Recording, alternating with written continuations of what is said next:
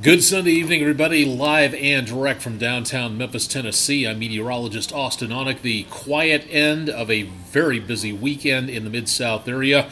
Cleanup continues across portions of the Mid South, especially northern Mississippi, and going to be seeing a lot of that going on throughout the next few days. Add to that, there's going to be the possibility of some more rainfall out there, which could slow again the possibility of cleanup in the Mid South area. So we could be looking could be looking at more problems out there from all of that. Not to mention, we got the potential for some going on and the possibility of maybe some more rainfall to add on top of that. So we've got a lot happening in the course of the next couple of days. We're going to walk you through all of that coming up here in just a little bit. So stay tuned for more on that with Weather Overtime. If you haven't been here before, again, this is our online video weather blog designed to give you an opportunity to take an extended look at what's going on with the weather around the Mid South area and our opportunity to kind of enlighten everybody with what goes on beyond a two to three minute usual weathercast on air. So, again, we'll give you more details on what's going on across much of the Mid South coming up here uh, into and around the area for right now, and again throughout the course of the next several days. So, if you have any plans for outdoors for tonight, again, it's going to be a bit brisk out there. We'll talk about that forecast coming up here into just a little bit, and also, again, seeing the potential Excuse me for just one second while I swing over for just a moment, see what's going on over here. Uh, minor problem with our cameras, but otherwise nothing huge going on here. Uh, more details on your forecast again coming up in just a bit. If you've got weather reports, let's see what's going on in your area. Drop a comment into the, the uh, comment section with your city, state location, and give us an update on the weather as to what's going on in your location. Rainfall from this weekend, uh, anything in the way of temperatures out there. Let's see what's going on where you're located and give us an idea as to what's happening there. Should be a pretty chilly evening coming up across the mid south with temperatures going back into the mid upper 30s by about sunrise tomorrow morning. So, not exactly bone chilling cold, but we will be looking at some pretty chilly temperatures out across much of the mid south area throughout the rest of the evening and into overnight. So, expecting some pretty brisk conditions as we get into early on Monday morning. So, the kids heading out for the school bus stop, we'll have more on that coming up here in just a little bit for that particular forecast. But at least for Monday and the early start of it, we're not going to see anything in the way of problems out there with rainfall at least for right now, but hold on to that umbrella because it's going to be coming in handy coming up in the next few days. Well below normal on temperatures. Sometimes when you get enough cold air sticking around close to the surface, it does a very good job of kind of sandwiching those clouds in place, and that's exactly what we wound up with today and those clouds did a very good job of blocking any sunshine from coming in. So the effect on that was the temperatures back into the lower to mid 40s only, and that was decently below normal again for this time of the year, with numbers going back into about the mid to upper 40s or so. So again, that's where we should be. That's where we wound up. We did not get too much in the way of rainfall today. More rainfall from yesterday and we're already nearly two inches ahead on rain for the year, and we're already just about not even two weeks into the new year already. So some pretty soggy conditions coming up for the mid south into the course of the next several days for right now. So we see again the potential for uh, more chances for rainfall into and around the area for right now. Uh, Austin Williams praying we don't have any more storms in a while like that. Checking in from Olive Branch. Well, severe weather is a possibility, especially at this time of the year in this part of the country. That's not anything to panic over, but now's the time to make certain you are prepared and ready to go uh, especially by paying attention to News Channel 3, and we'll keep you updated as to what's going on out there where it comes to severe weather. We'll talk more about that in just a little bit. Uh, Marsha Martin, snow anytime soon? No, at this point. Uh, doesn't look like it, but in the next several days, there is the possibility that we are going to see uh, the polar vortex open up Canada and drop a bunch of cold air into our area coming up into the course of the next several days. So we should be again seeing the possibility of some colder weather pretty soon. We're also seeing a lot of water making its way downstream. So the Mississippi River will be again on the rise into the next several days and overspreading the bottomlands over into eastern Arkansas. So something to keep an eye on if you are going to be planning some uh, bike or walking travels over that direction. It's a good possibility the gates might be shut as we go closer to flood stage, which is 34 feet and that'll be coming up over the next several days. Not just for the Mississippi River at Memphis, but in numerous locations out across the area.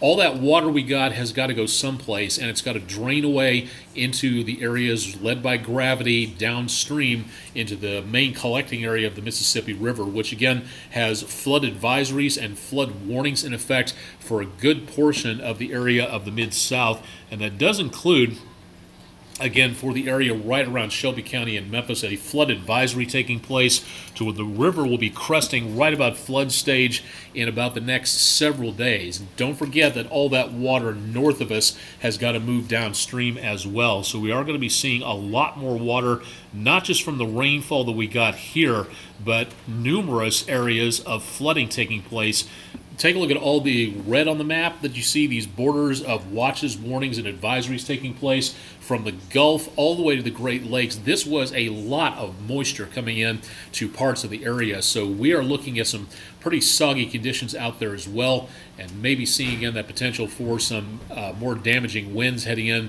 with the potential of more severe weather uh, into the next couple of days. Doesn't look like bad chances, but once again, that's something we really have to pay attention to, especially at this time of the year. Our last storm system, the one that gave us all the severe weather, way out over the Canadian Maritimes and moving out into the North Atlantic. Down to our south, we've got warmer air on the way coming up from the Gulf and northern Mexico. That's going to be our temperature surge, the first one in front of the next storm system, which is getting organized well back to our north and to our west. But here in the Mid South tonight, we have little, if anything, going on. Again, clean sweeps across the entire area, so dry for Sunday night, Monday morning. More chances of rainfall as we get into the course of the next several days out there for right now. Charlotte Pryor, cold in Clarksdale. Thank you very much for checking in there. 41 degrees in Brighton, Tennessee. Judy Thorpe. Thank you very much for that. Thanks to everybody for checking in for the highs and hellos uh, out across the Mid South. Do uh, appreciate everybody tuning in for tonight to see uh, what's going on. Here in the Mid South right now, again, the chilliest numbers back in the upper 30s to around the lower 40s. Winds are pretty light, but when they gust upwards of about 5 miles per hour, it is noticeable out there, so we'll see some wind chills into early tomorrow morning, but the winds will be diminishing as we go into overnight. So, not looking too bad for breeze, but still pretty chilly with numbers uh, heading back into the mid to upper 30s as we get into the rest of the forecast. Here's what it looks like again as we go into the next several hours into overnight. We'll be looking at temperatures by News Channel 3 at 10 in the upper 30s to lower 40s. Clouds may break up a little bit, but they're going to stick around in some form or fashion into the overnight period. No chance of rainfall at this point, but again, chances for rainfall into the area is what we're going to be seeing later on. So we've got a bit of a dry spell after that, a lot of changes taking place in there for right now. And then by tomorrow morning, kids at the bus stop, Todd Demers on the air with daybreak, temperatures in the high 30s to about the uh, lower 40s out there. And again, cloud sun mixture. Uh, if everything works well in the predictions, northern Mississippi, southeast Arkansas, you might see some clearing first as that warm air continues to flow upwards from the Gulf. Still on the chilly side by mid morning tomorrow, upper 30s to lower 40s. A little bit more sunshine breaking through by midday and that'll bring our high temperatures up into the mid upper 50s to lower 60s. That'll be just above normal for this time of the year. Now, by tomorrow afternoon and evening, that's where we start to see more chances of rainfall into the mid south. Granted, it's not huge, but we will start to see by about dinner time and afterwards some speckles of rain south of the metro and I 40. So, southwest Tennessee North Mississippi, Southeast Arkansas. You'll start to see more of that coming up into tomorrow evening, not for tonight. So, again, that'll be the best chance of rain very much on the closer side of things as we go into the uh, rest of the forecast there. Severe threat, not for tonight and not for tomorrow. But as we go toward about Tuesday or so, Monday night, we start to pick up that chance of just isolated possibilities of thunderstorms. Severe chances come into the area Tuesday into Wednesday. It's a marginal threat, and again, that is way down here for the possibility of isolated thunderstorms uh, becoming a little bit more energetic. National Weather Service estimates uh, more of a chance of hail than anything else. It is not anything close to what we saw over the last couple of days, to where that large, powerful burst of energy coming through the plain states caused our weather on Saturday. So, again, this is nothing compared to what we saw over the last 48 hours. But here's the key thing to take away from this there is still a chance of severe weather, so we do need to pay attention to this. We are in prime time season number one for severe weather. So now is the time to be ready before anything happens. Know your safe place to go to. Again, keep your weather radio, fresh batteries ready to go. Make certain your cell phone has wireless alerts. Have different ways of getting severe weather information than just waiting for the tornado sirens to go off. That's not the best way of doing things when the storm system is upon you and the tornado sirens are going off. That's an immediate threat. You need to be able to be prepared for what's coming your direction by knowing what county you're in, knowing what counties are around you. So if warnings start getting issued and something's next door, uh, if you're in Memphis and Shelby County and something is coming in from St. Francis County or Lee County or Phillips County, Arkansas, you need to know about that, and that will help you stay ahead of the severe weather threats as we get into the course of the next couple of days. So, again, please keep that in mind. Readiness is the best thing that you can possibly do at this point to make certain that you are ready to go when these type of things start happening. So please be prepared for that and keep it tuned to News Channel 3 on there. Uh, Andre Moni, hope I'm saying that right, from Collierville. Thanks for checking in. Uh, thanks for the kind reports about the severe weather. We're just doing our jobs, trying to help out, and glad to do so. Uh, thanks to everybody for the reports out there. Uh, for everybody else, just to be on the safe side. Uh, numbers again through tonight into tomorrow on the mild side, back in the lower 60s. Chances of rain stay away from the mid south until we get into tomorrow evening, and even then it's going to be light to sporadic chances at best on there. Much more mild numbers as that warm front continues to make its way up from the south. Temperatures back in the mid 60s with cloudy conditions late Tuesday into around early Wednesday. That's where we start to see more potential of showers and thunderstorms. Might be some earlier chances on Tuesday. We'll keep up to date with what the latest forecast model numbers are saying. And again, by Wednesday, a widespread chance of showers and thunderstorms. Now, that front sticks around with the moisture in the mid south area.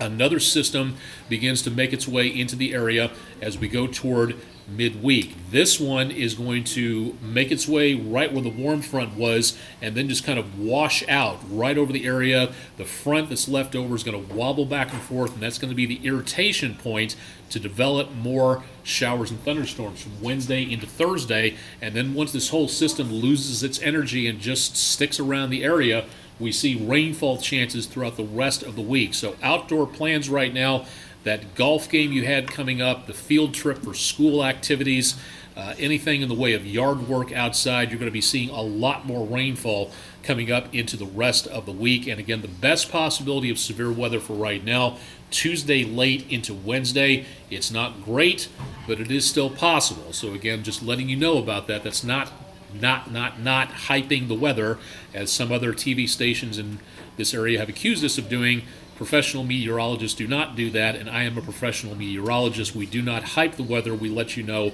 what may be coming your way so you can be on the safe side out there.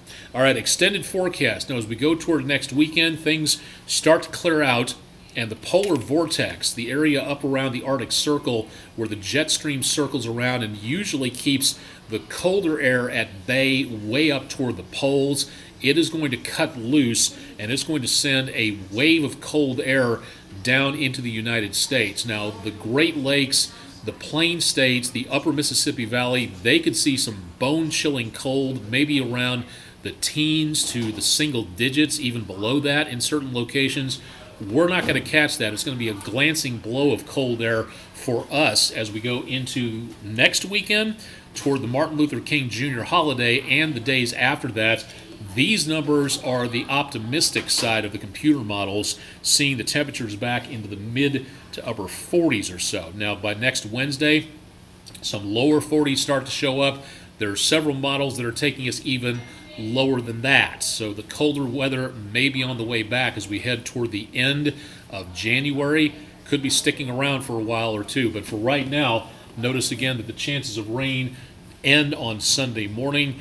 Doesn't look like any moisture out there to turn to winter weather at this time, but we will be keeping an eye on that as we go into the course of the rest of the forecast. So, again, if anything changes on there with winter weather, uh, keep it tuned to News Channel 3 and we'll let you know more about what might be heading our way dry and cold appears to be what we're looking at for the last few days of January. At least that's the way it's looking right now. So, again, stay tuned for more on that. All right, updates from the National Weather Service in Memphis. Their survey teams have been out and will be out again tomorrow to take a look at what happened with the damage out there from their Twitter page First team reporting two tornadoes. One was rated EF1. That's the enhanced Fujita scale that measures tornado damage and goes from EF0 to an EF5. Zero is a very thin, weak, rope like tornado. And of course, an EF5 would be a mile wide Moore, Oklahoma monster sized tornado out there. This was a fairly weak one, but decently powerful enough to cause damage in DeSoto County, Mississippi. If you were watching our coverage early Saturday morning, you saw a radar image of maybe a debris ball being created by that tornado out there into Tate County, into DeSoto County, Mississippi. And another one, the stronger one, the EF2 storm, a little stronger, a little wider tornado from around DeSoto County. Straight line wind damage observed in Tunica County. And again, more details and more pictures to follow out there. And that's what I would like everybody to think about watching this for tonight. If you have pictures and reports of whatever went on out there, your information could help the survey teams at the National Weather Service. And as time goes along, information of what you provide out there through the National Weather Service can be used for ground truth to see what happened on the radar to confirm what went on on the ground underneath that radar beam as it was looking at those storms passing its way on through. So, what do you do with that information? You go to our website if you would like to go straight to it to get more information. Go to wreg.com/weather. Scroll down beneath the forecast and there's going to be information on there about how to contact the National Weather Service in Memphis with your pictures, your video, and your storm reports. If you've got them, please send them on. The more information that they get from viewers and spotters like you, then the more information we can have for future meteorological studies and the safer we can all be because the more data we've got, the more information we can use to help keep everybody safe. This is very important. So if you haven't filled out a damage report yet, or even just a spotter report, you saw a uh, funnel cloud at this location moving that direction. It caused this damage or didn't cause any damage at all. The National Weather Service can use all of that. And if you would please report that again to them via the different sources that they have out there, social media, on their websites, or just emailing them. Again, more information at wreg.com slash weather. If you've got the information, please pass it along. You can do so anonymously, uh, but again, location would be helpful on there to let the National Weather Service survey teams and future meteorological studies know what went on, and you can be a part of that. So, your information down the line could help save lives sometime in the future. So, please consider that into and around the area for right now uh, just to be on the safe side to make certain you've got that information in so the meteorologists and personnel here can study it and apply it to future scenarios. It could really help out at some point in time, way into the future, right there. Austin Williams has climate change shifted for us? Does it have an effect on our type of weather? Uh, climate change is affecting the entire planet, and humans are causing that.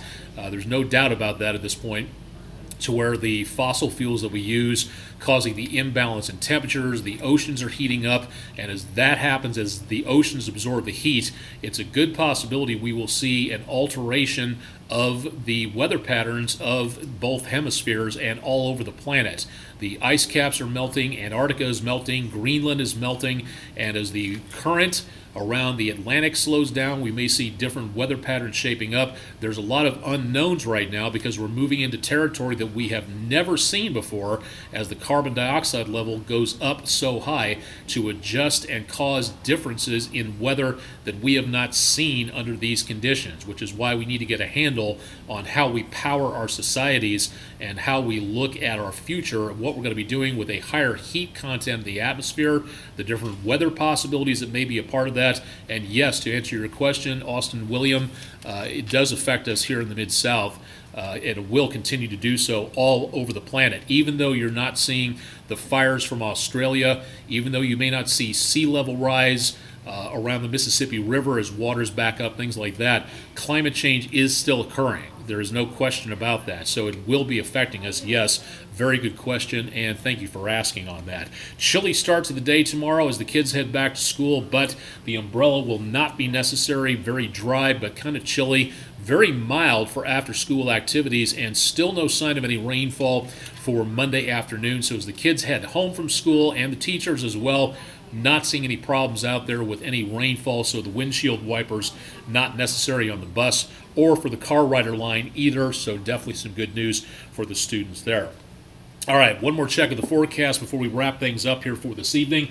Again, pretty chilly into tomorrow morning, so heading out for that early morning jog or stroll, taking the dog or the cat for the walk or whatever you're doing. Temperatures again in the mid to upper 30s out there, heading into the 40s, and those clouds will be sticking around in some form or fashion out across uh, much of the area. So, looking at some pretty dry conditions for now.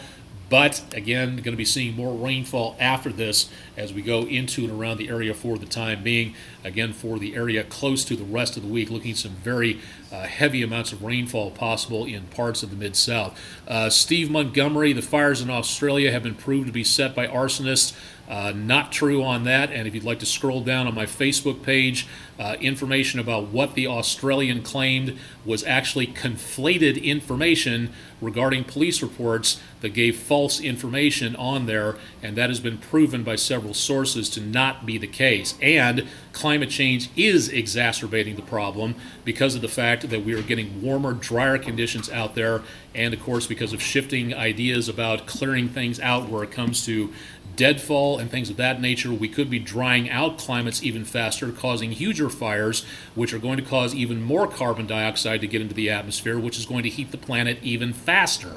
So, good question on that. But as of right now, the proof of global warming is very well seen with climate change and carbon dioxide levels keeping the heat inside the planet. The oceans are warming, the ca- ice caps are melting there's incontrovertible truth out there for right now showing what is going on, and that is the proof at this point in time. It is happening, and it is humans that are causing the problems. Uh, follow Katharine Hayhoe, great climate scientist, good opportunity to learn more if you want numbers and proof on stuff like that. She'll be able to help you on that, as well as uh, people like Professor Michael Mann, M A N N.